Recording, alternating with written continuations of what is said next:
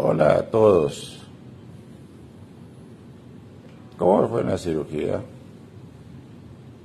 ¿Qué dice mi cara? ¿Qué dice mi cara? Me fue bien. Me fue bien, gracias a Dios. El sarcomita. ¡Pum! Lograron sacarlo. Estamos muy contentos.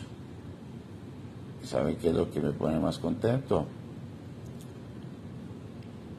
Los rostros de mis familiares, de mi esposa, de mi hija y de mis papás y, mi, y hermanos, porque se les ilumina la cara. Si ellos están felices, Dieguito está feliz. Me duele la, la barriga horriblemente, no se les voy a negar, pero, pero no estoy tan jodido como la primera vez en la primera cirugía.